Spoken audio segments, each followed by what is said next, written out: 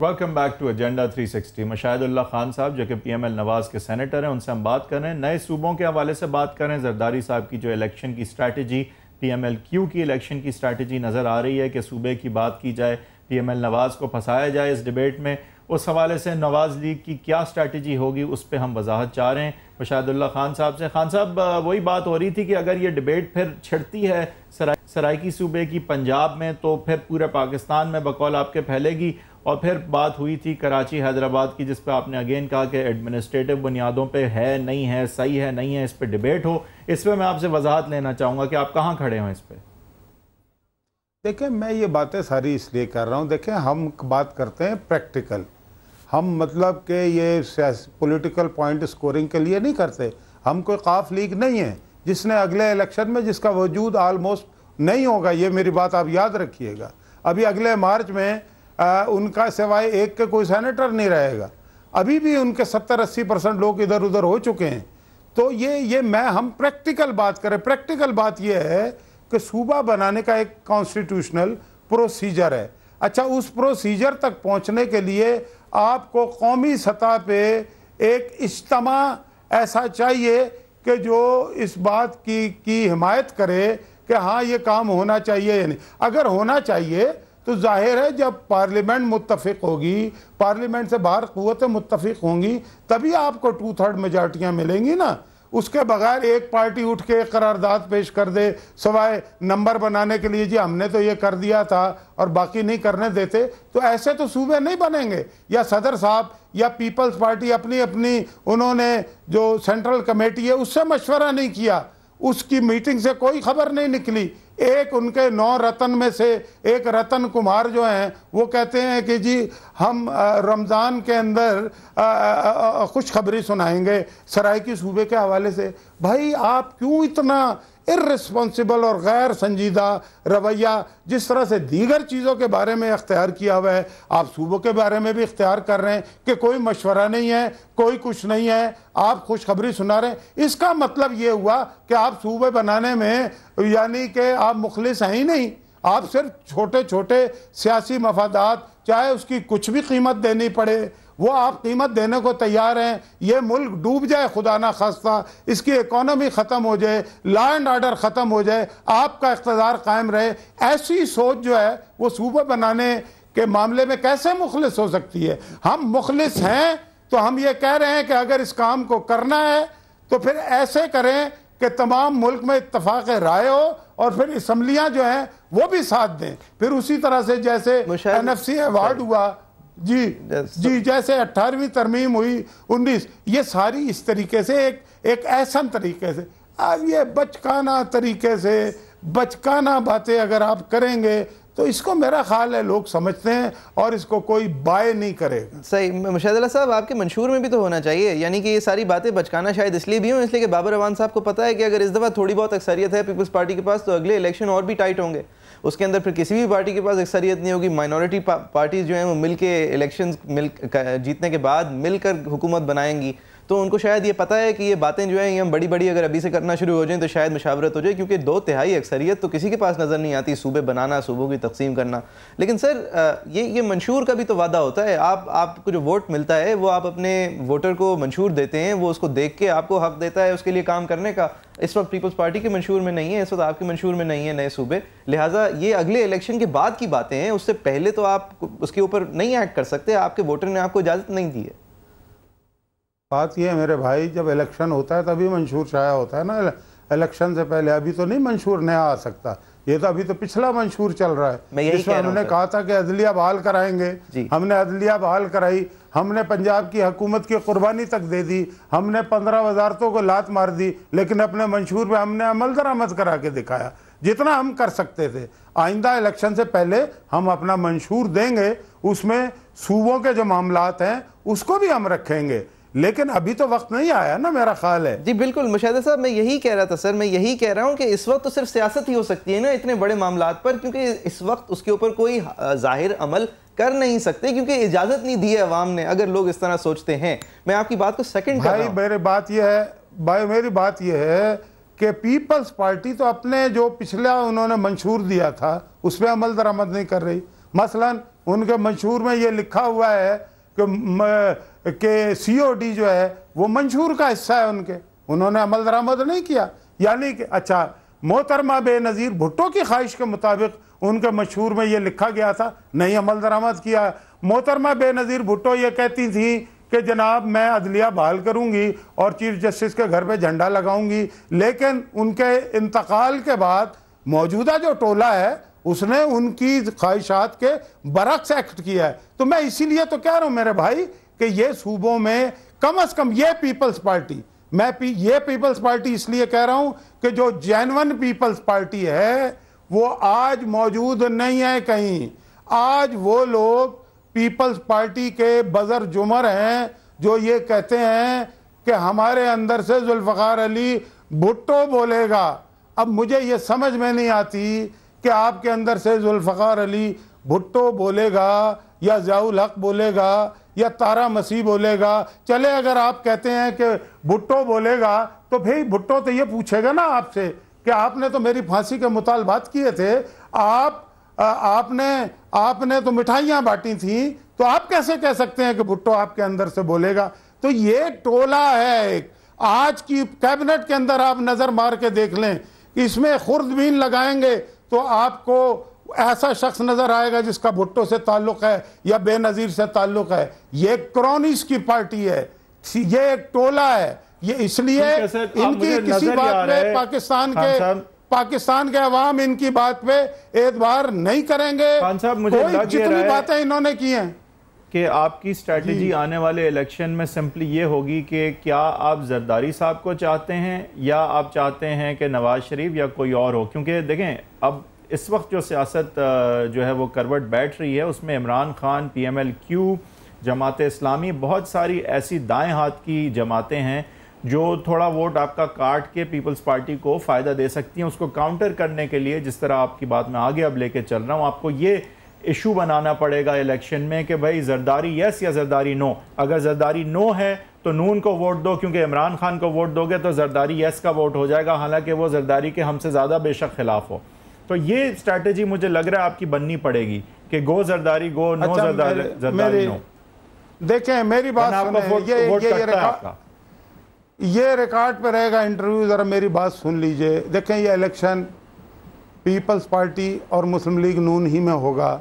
अच्छा ये आपने जो क्वेश्चंस किए हैं जमात इस्लामी और इमरान खान के हवाले से देखें इस्लामिक फ्रंट को 93 में खड़ा किया गया था ना और पीटीवी तीन ही जलसे दिखाता था आ, आ, आ, हमारी पार्टी के पीपल पार्टी और तीसरा भी अच्छा भला बड़ा जलसा काजी साहब का हुआ था नतीजा उठा के देख लें तिरानवे के इलेक्शन का। 97 में भी इमरान खान कहते थे जनाब मुझे इतनी सीटें मिल जाएँगी। बड़े पॉपुलर लीडर थे। अच्छा फिर वो मियाँ साहब से मुजाकर भी हुए भी हुए थे। आठ, दस सीटें मियाँ साहब देना भी चाहते थे, लेकिन उन्होंने लंबे चौड़े मुतालबे किए। उसके बाद वो फिर मामला नहीं बना। इन्होंने फिर इलेक्शन लड़ा। खुद ये आठ, दस सीटों से खड़े हो गए थे। दो, तीन जगह से कराची से भी खड़े हुए थे। एक वो खुशबक वक्त शुजात वाली सीट से, एक वेस्ट से, और दीगर लाहौर से, फिर पता नहीं फ्रंटियर से। हर जगह से इनकी ज़मानतें जब्त हो गई थी। ये इंतहाई पॉपुलर थे उस वक्त भी। अच्छा मैं आज की भी आपको ये जब भी सर्वे होगा, इमरान खान पॉपुलर लीडर इसलिए होंगे कि वो सिर्फ़ सियासी लीडर नहीं हैं। वो एक क्रिकेट के हीरो हैं। वो जनाब, उनको जो जो फॉरेन मीडिया है, वो गोल्ड स्मिथ में जो उन्होंने के ख़ानदान में शादी की थी, उस लिहाज से वो भी उनको सपोर्ट करते हैं। ग्लैमरस पर्सनैलिटी हैं। वो प्ले बॉय का भी उनका एक बहुत सारी चीज़ें मिला जुला के उनकी बड़े खूबसूरत आदमी भी हैं। तो वो हमेशा पॉपुलर रहेंगे इस मुल्क में। लेकिन इसका ये मतलब नहीं है कि उन्हें लोग वोट भी देंगे। 97 की मिसाल आपके सामने है। लेटेस्ट मिसाल 2002 की है। उस वक्त भी सिर्फ़ वो इसलिए जीते थे कि मुस्लिम लीग नून ने कैंडिडेट नहीं दिया था। हमारे सदक़े में जीते थे। फिर 2008 में एक बाइकाट हो गया। अब वो ये कर रहे हैं मैं पिछले साल की बात बता रहा हूँ अब वो लोग कहते हैं जी वो जीत देंगे भाई आप कोई दलील देना खाली ये कहने से तो आप नहीं जीतेंगे कि जी शर्त लगा लो मैं जीत जाऊँगा। दलील ये भाई है दलील ये है। जी जी। दलील ये है कि इमरान खान साहब अनटेस्टेड हैं। इमरान खान साहब के साथ इंटेग्रिटी और एक क्रिकेट हीरो की बात जुड़ी हुई है बकौल आपके भी।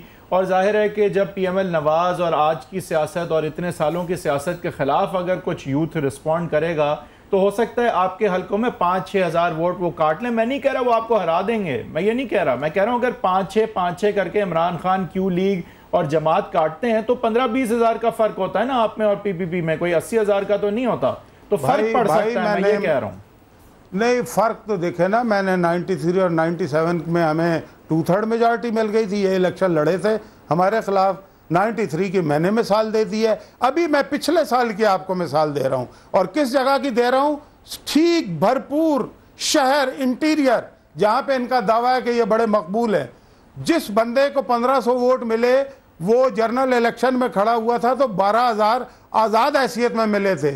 इनके टिकट पे उसे 1500 वोट मिले। उसके बाद से इन्होंने बाई इलेक्शन लड़ना बंद कर दिया। अब मुझे यह आप बता दीजिए कि इस एक साल में कौन सा उन्होंने ऐसा कारनामा सर अंजाम दिया है कि जिसकी बुनियाद पे लोग उन्हें वोट दे देंगे। अच्छा उन्हें यह नहीं मालूम होता कि वो क्या कह रहे हैं। वो कहते हैं जी, सेवेंटी परसेंट लोग मुझे वोट देंगे। भाई, और फिर वो उसी सांस में कहते हैं कि भुट्टो वाला इनकलाब आएगा सत्तर का। भाई, भुट्टो वाले इनकलाब में तो पाँच सूबों में से चार में भुट्टो साहब हार गए थे, समेत सिंध के। तो उन्हें यही नहीं तो पता चार में से चार में हार जाएँगे ना वही इनकलाब हो जाएगा। अब देखें खान साहब की देखें एक बात है और, कि खान पॉपुलर फिर भी होंगे। नहीं ठीक है आपकी बात समझ गया।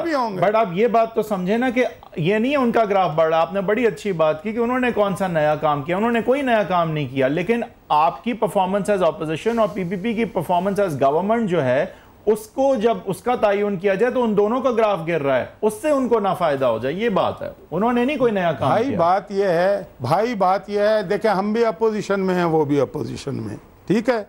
अदलिया की बहाली की हमने भी बात की उन्होंने भी बात की।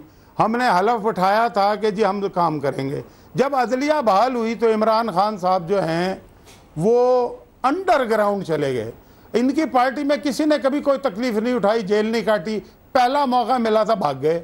अच्छा मुझे हाँ, याद है हमने बहाली की बात शुरू हो गई थी अच्छा, जजों की बहाली के बाद। अच्छा हाँ। मिल नहीं रहा हाँ, अच्छा अब मुझे एक बात अब मुझे एक बात आप बताइए कि हमारी तो हुकूमत चली गई थी पंजाब की गवर्नर रूल लग गया था ना? अच्छा हमने वजारतें भी छोड़ दी थी पंद्रह इसी नुक्ते पे छोड़ी थी ना? ठीक है तो हम तो अपोजिशन कर रहे हैं। फिर ये देखें इस मुल्क की हिस्ट्री में ये तो खान साहब तो सर आप एक मुक्का, एक मुक्का मारते हैं इनकी ऑपोजिशन ये एक मुक्का आप मारते हैं फिर भाग जाते हैं फिर मुक्का मारते हैं भाग जाते हैं फिर आप सस्टेन मोमेंटम के साथ नहीं कर रहे ऑपोजिशन सर। और साठ फ़ीसद मुल्क की आबादी के ऊपर तो आप हुक्मरान हैं जजेस की बहाली पे आपको सलाम है। मैंने हाथ उठा के कर दिया सलाम आपको। उसके बाद की बात करें आपकी ऑपोजिशन क्या है उसके बाद? देखें मेरी बात सुने। मैं आपको एक बात बताऊँ एक जब भी कोई नया काम होता है ना तो वो लोगों की समझ में नहीं आता। मीडिया ये कहता है कि आप ये क्या मैं ये मैं मैं मैं मैं, मैं बताता हूँ मैं समझा नहीं सकता मैं गुजारिश ज़रूर करूँगा आपसे। बात यह है कि जब हम कहते हैं कि नब्बे की दहाई में वापस नहीं जाना हमने हुकूमत नहीं करानी इस निज़ाम को डीरेल नहीं करना तो लोग कहते हैं कि जी ये तो मिले हुए हैं आपस में। फ्रेंडली अपोजिशन कर रहे हैं। अच्छा अब ज़रा सी हम सख्ती करते हैं तो मीडिया कहता है, ये फिर नब्बे के दिहाई में चले गए हैं। मुझे बताएँ ना कि वो है ना, ये या इलाही, ये माजरा क्या है?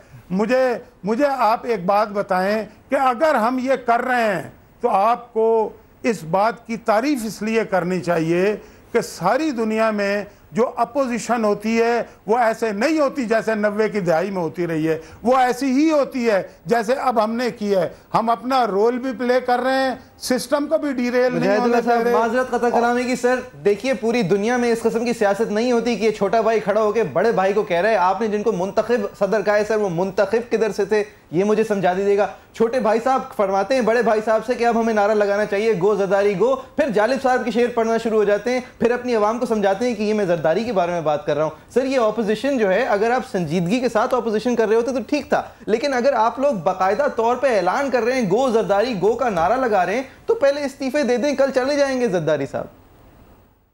देखिए गो जरदारी गो का नारा लगाना कोई गैर जमहूरी बात तो नहीं है। या सर एक हबीब जालिब नज़में पढ़ना। हबीब जालिब की नज़में पढ़ना। साहब हबीब जालिब की नज़में पढ़ना शहबाज शरीफ को अपनी पार्टी कन्वेंशन में जिसमें इलेक्शन के नाम पे सब सेलेक्ट हो गए और सब खड़े हो गए और फिर जालिब की नज़में जरदारी साहब के लिए पढ़ रहे हैं। यानी कि एक बिल्कुल एक्सट्रीम थॉट आप सामने ला रहे हैं और आप पंजाब की हुकूमत नहीं छोड़ रहे और फिर अपने आप को अपोजिशन कह रहे हैं। पंजाब साठ फ़ीसद पाकिस्तान है। साठ फ़ीसद पाकिस्तान। पंजाब हम सैटेलाइट स्टेट हैं। पाकिस्तान के पा, पूरा पाकिस्तान पंजाब के इर्द गिर्द गश्त करता है। सैटेलाइट्स हैं। भाई भाई पंजाब हमें किसी ने हैं। किसी ने हमें जीत कर नहीं दिया, हमने खुद जीता है, एक बात। दुनिया भर की जमहूरियतों में साथ आपके पड़ोस में ज़रा उनकी डेमोग्राफी तो देखें ना गवर्नमेंट की, कि कितने सूबों में बड़े बड़े कहीं मायावती यूपी में बैठी हुई हैं, कहीं बंगाल में कोई बैठा हुआ है, लेकिन फेडरेशन में इंदिरा कांग्रेस है, पॉलिसीज़ वो बना रही है।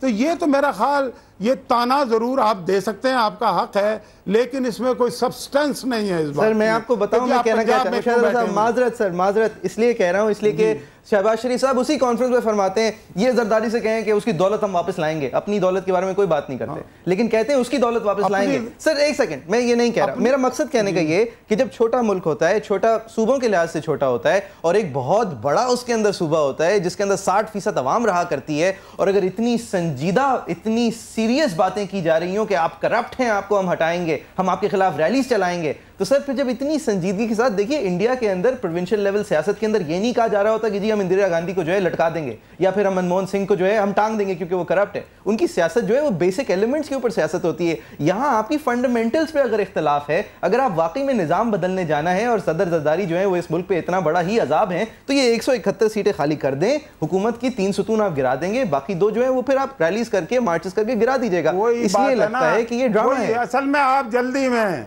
आप बहुत जल्दी में। आप ये चाह रहे हैं कि हम नब्बे की दिहाई में चले जाएँ। हमने नहीं जाना। आप कोई हल नहीं पेश करते। जरदारी की अगर करप्शन की बात हो रही है तो क्या हम गलत कर रहे हैं? क्या सुप्रीम कोर्ट में उनके केसेस नहीं हैं?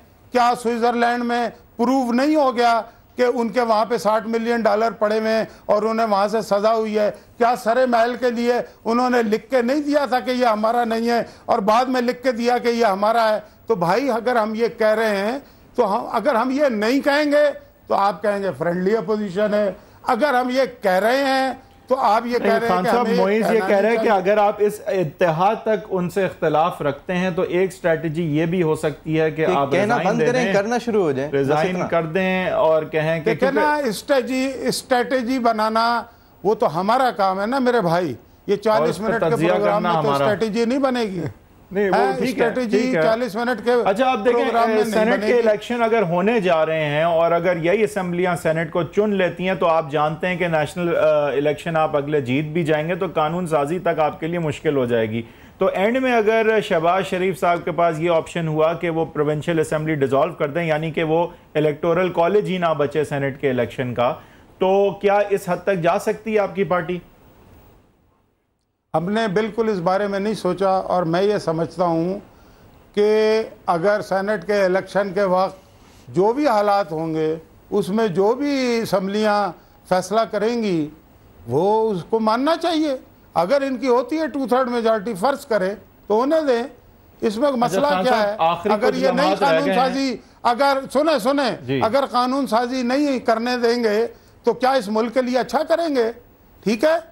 तो कानून साजियाँ ऐसे रुकती भी नहीं है। अगर आप सही कानून साजी करेंगे तो इनसे बात करके करेंगे तो कानून साजी भी हो जाएगी। ये हमें इस बात का खौफ नहीं है सेनेट के इलेक्शन का, ये मैं आपको बता दूँ। हमें खौफ इस बात का है कि इस मुल्क के अवाम के मसाइल हल नहीं हो रहे। मीशत तबाह हो रही है और करप्शन का स्केल बहुत ज़्यादा वसी हो चुका है। अवाम के मसाइल हल नहीं हो रहे। बिजली, पानी, महँगाई और बेरोज़गारी की तरफ़ तवज्जो नहीं है और नॉन इश्यूज़ में फंसाया हुआ है। कराची में दर्जनों लोग मर जाते हैं। कोई पूछने वाला नहीं है। इकतदार की बंदर बांट होती है। इकतदार को बाला दस किया हुआ है। अवाम के खून को जेर दस किया हुआ है। अवाम के खून से हमदर्दी कोई नहीं कर रहा, बल्कि उससे होली खेल के अपनी कुर्सी को मज़बूत कर रहे हैं। हमें इस बात की फ़िक्र है, हमें हमें सेनेट के इलेक्शन की फ़िक्र नहीं है। खान साहब, आपका ताल्लुक भी कराची से रहा है और कराची के हालात की बात आपने ही छेड़ी। पी एम एल नवाज़ कोई बहुत बड़ी स्टेक होल्डर कराची में नज़र तो नहीं आती, लेकिन कराची सबसे बड़ा शहर है पाकिस्तान का।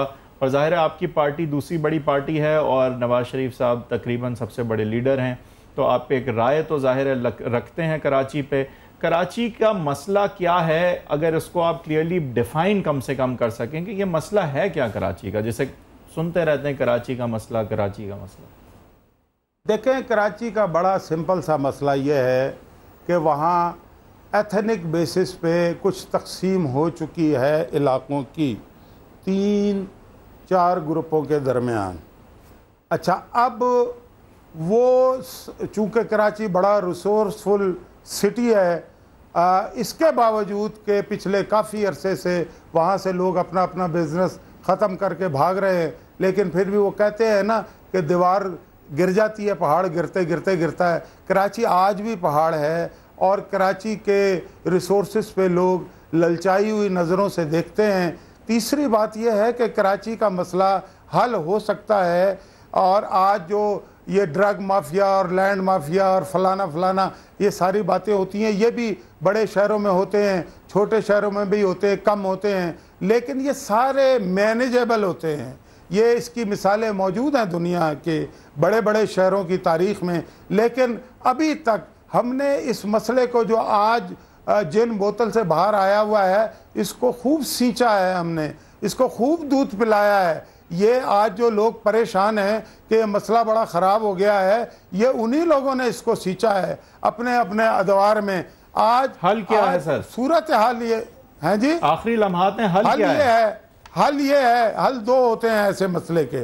इतना बड़ा शहर है, गैर जानबदाराना एक पुलिस फोर्स हो, जिसके आईजी से लेके डीआईजीज एसएसपी और एसपी लेवल के 25-30 अफसरान ऐसे हों, जो जिनकी कोई सियासी वाबस्तगी ना हो, जो एक नज़र से सबको देखें और जो क्राइम में मुलविस है, उसके खिलाफ कार्रवाई करें। दूसरा, इसको स्ट्रेंथ ऐसे दी जा सकती है कि जो वहाँ की सियासी क़वतें हैं, तमाम सियासी जमातें उनके मशवरे शामिल हों और जब ये सारों के मशवरा उसमें शामिल हो जाए कि इस तरह से ये एक्शन होना चाहिए तो फिर तमाम सियासी क़वतें उस एडमिनिस्ट्रेटिव एक्शन को, जो कि एक गैर जानबदाराना इंतज़ामिया ने करना है उसको सपोर्ट करें। जैसे स्वात में हुआ कि तमाम पाकिस्तान की पार्टियों ने फ़ौज से कहा आप एक्शन करें। उन्होंने किया और वो उसमें कामयाब हो गए। यहाँ पे मसला ये है कि इंतज़ामिया गैर जानबदार नहीं है और पुलिस है। एक आखिरी सवाल सर अगर इंतजामी बुनियादों पे ये तो होना ही चाहिए इसमें दो राय नहीं है लेकिन अगर पॉलिटिकली इस मामले को नहीं सॉर्ट किया जाएगा तो महज लॉ एंड ऑर्डर सिचुएशन इसको समझते हुए ये हल किस तरह होगा? दोनों साथ नहीं करने पड़ेंगे। पॉलिटिकल सिचुएशन को भी साथ लेके चलें और लॉ एंड ऑर्डर सिचुएशन के हवाले से भी मैं तो यही गुजारिश मैंने तो यही गुजारिश की है कि सियासी लोग वहाँ के जितने हैं वो जब तक स्ट्रेंथ एडमिनिस्ट्रेटिव एक्शन को नहीं देंगे उस वक्त तक मसला हल नहीं होगा। और ये दोनों काम किए जा सकते हैं। बहुत शुक्रिया खान साहब आपने हमें ज्वाइन किया और नए सूबों के हवाले से बात बहुत शुक्रिया। नए सूबों के हवाले से आपने बात की। कराची के हवाले से पी एम एल नवाज़ का हल और मसले का तयन जो है आपने करने की कोशिश की। आप हमें लिख सकते हैं कि क्या सराइकी सूबा बनना चाहिए? क्या ये कॉन्सेप्ट जो है नए सूबों का ये दुरुस्त है? क्या जरदारी साहब ने ये जो एक चाल चली है, ये क्या महज सियासत है या इसमें सब्सटैंटिव फ़वाद हैं मुल्क के लिए? Agenda three sixty eight C N B C Pakistan dot com हमारा ई मेल एड्रेस है। आप हमारे फेसबुक पेज पे भी जा सकते हैं। ये वाला शो या पिछले कुछ शोज़ अगर आपने मिस किए और आप देखना चाहते हो तो वो भी हमारे फेसबुक पेज पे आप कर सकते हैं। इन कल दस बज के दो मिनट पर एक दफ़ा फिर मुलाकात होगी। देखते रहिए C N B C Pakistan